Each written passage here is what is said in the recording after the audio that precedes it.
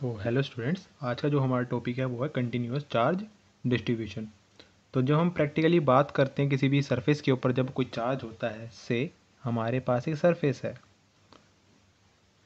जब भी हम प्रैक्टिकली किसी सरफेस के चार्ज को देखते हैं डेली लाइफ में एक्सपेरिमेंट्स में तो उस सरफेस के ऊपर जो चार्ज होता है, वो एक इलेक्ट्रॉन पे जो चार्ज होता है, उससे काफ़ी काफ़ी ज़्यादा होता है. एक इलेक्ट्रॉन पे जो हमारा चार्ज होता है, वो इतना होता है। One point six into ten raise to power minus nineteen coulomb लेकिन प्रैक्टिकली जब हम किसी भी सरफेस पे देखते हैं तो जो सरफेस का चार्ज होता है, इस सार से काफ़ी काफ़ी ज़्यादा गुना होता है। तो हम इस कंडीशन में बड़े सरफेसेस के लिए, बड़े चार्जेस के अमाउंट के लिए हम क्या करते हैं, जो इलेक्ट्रॉन के या चार्जेस की जो एक प्रॉपर्टी जिसको हमने नाम दिया था क्वांटाइजेशन इस क्वांटाइजेशन को हम इग्नोर कर लेते हैं और ये एज्यूम कर लेते हैं कि ये जो हमारा सरफेस है, ये जो हमारा सरफेस है, इसके ऊपर चार्ज कंटिन्यूसली डिस्ट्रीब्यूटेड है इक्वली डिस्ट्रीब्यूटेड है। So if we imagine that ये जो हमारा जो सरफेस है, इसके ऊपर टोटल चार्ज है हमारा क्यू इसके ऊपर टोटल चार्ज है हमारा क्यू एंड इसी अगर सरफेस पे मैं एक पोर्शन ले लेता हूँ, एक स्मॉल पोर्शन जो कि स्क्वायर शेप में है, और इस स्क्वायर शेप के जो स्मॉल पोर्शन है स्क्वायर शेप का जो स्मॉल पोर्शन है, उसके ऊपर चार्ज है डी क्यू एंड अगेन मैं एक पॉइंट पे दूसरा टेस्ट चार्ज ले रहा हूँ से क्यू नॉट जो कि इस डी क्यू एरिया एलिमेंट से एरिया एलिमेंट से आर डिस्टेंस पर है. So according to coulomb's law. हमारे स्मॉल एरिया एलिमेंट जिसका चार्ज है डी क्यू और हमारा जो टेस्ट चार्ज है क्यू नॉट इसके बीच में कुलम्बिक फोर्स होगा। सो so, वो जो फोर्स होगा वो फोर्स इसके बराबर होगा।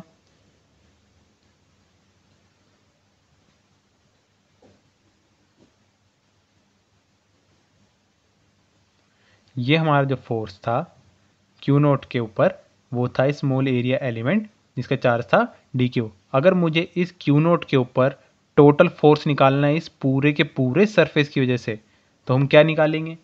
बड़ा आसान है।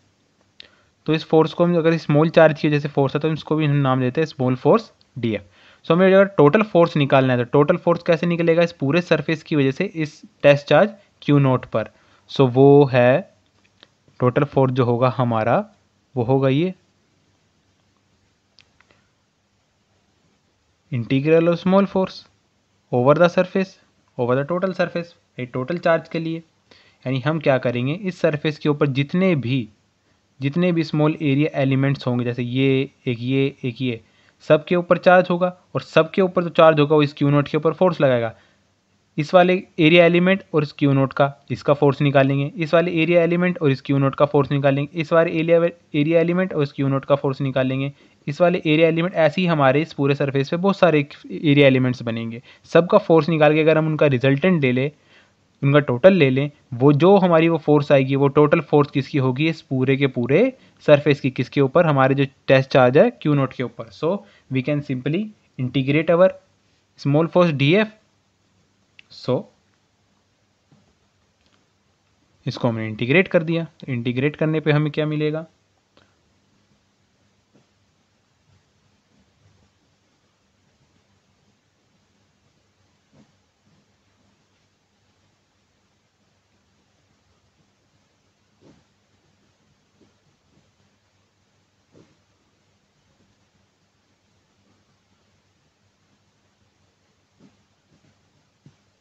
ये आ गया हमारा टोटल फोर्स इस टेस्ट चार्ज क्यू पे।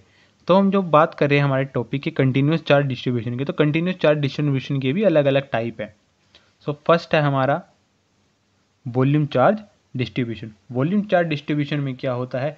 जो भी हमारा एक चार्ज है वो एक थ्री डायमेंशनल वॉल्यूम के अंदर इक्वली स्प्रेड होता है। एक हमारा जो भी हमारा चार्ज है वो एक थ्री डायमेंशनल वॉल्यूम के अंदर। एक वॉल्यूम के अंदर, एक थ्री डायमेंशनल स्पेस के अंदर इक्वली हमारा डिस्ट्रीब्यूट रहता है। उस वाले चार्ज डिस्ट्रीब्यूशन को हम क्या कहते हैं? वॉल्यूम चार्ज डिस्ट्रीब्यूशन से हमारे पास एक वॉल्यूम है। हमारे पास एक वॉल्यूम है। से हम एक क्यूबिकल वॉल्यूम ले रहे हैं।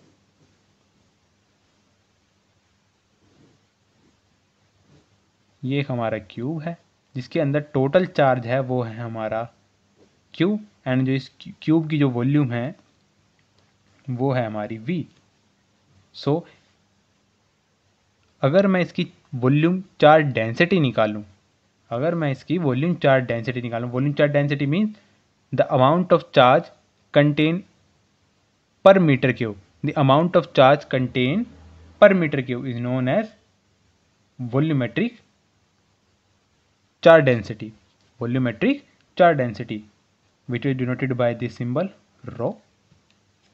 So, this is equals to q by v.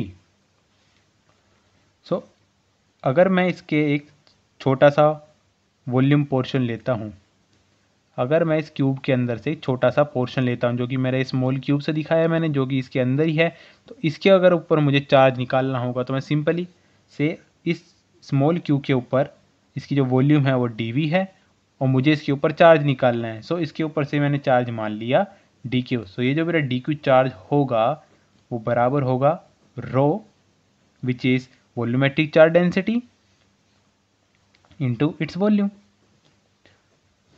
simple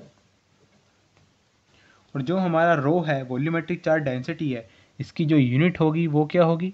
This is a charge which is in coulomb and this volume which is in metre cube so जो रो की जो यूनिट होगी, वो होगी coulomb per metre cube and कई cases में हम volume को सेंटीमीटर क्यूब में भी ले लेते हैं। तो जो हमारी यूनिट हो जाएगी, वो हो जाएगी coulomb per centimetre cube coulomb per centimetre cube दूसरा जो टॉपिक है हमारा सरफेस चार्ज डिस्ट्रीब्यूशन का है। सरफेस चार्ज डिस्ट्रीब्यूशन में क्या होता है?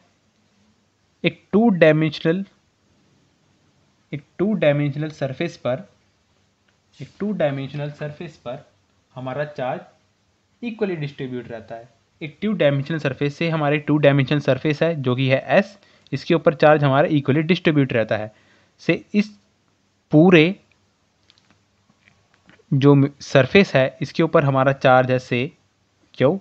और इसका टोटल एरिया है एस सो so, जो सरफेस चार्ज डेंसिटी होगी which is sigma equals to Q by S अगर मैं इस two dimensional surface area surface पर एक स्मॉल एरिया एलिमेंट ले लेता हूँ से दिस और इस स्मॉल एरिया एलिमेंट का जो मेरा एरिया है, वो है डी एस सो इस डी एस के ऊपर कुछ चार्ज होगा, उसको मैं मान लेता हूँ से डी क्यू सो ये जो डी क्यू होगा मेरा, वो बराबर होगा surface charge density into its area which is D S so ये भी हमारा निकल गया।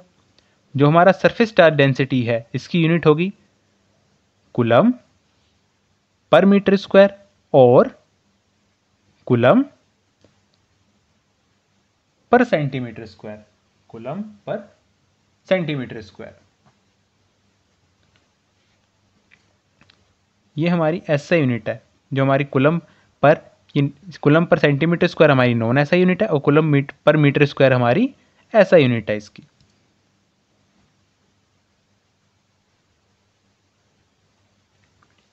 नेक्स्ट है हमारा line charge distribution line charge distribution में क्या होता है? जो भी हमारा चार्ज है, एक वन डायमेंशनल एक वन डायमेंशनल कर्व के अलोंग या सिंपली वी कैन से एक लाइन के अलोंग इक्वली डिस्ट्रीब्यूट रहता है। सही ये हमारी एक लाइन है, एक कर्व है, इसके ऊपर एक पूरा का पूरा चार्ज इक्वली डिस्ट्रीब्यूट है, यानी बराबर बराबर रूप से फैला हुआ है।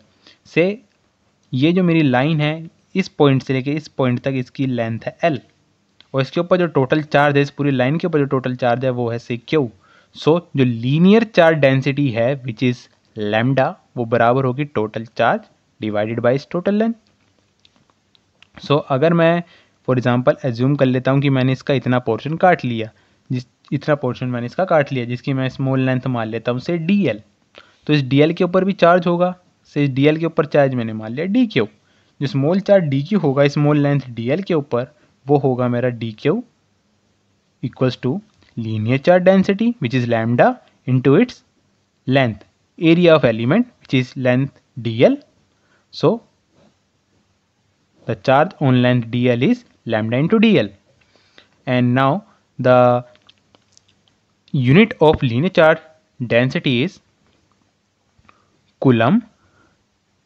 per metre coulomb per metre so now our topic of continuous charge distribution is completed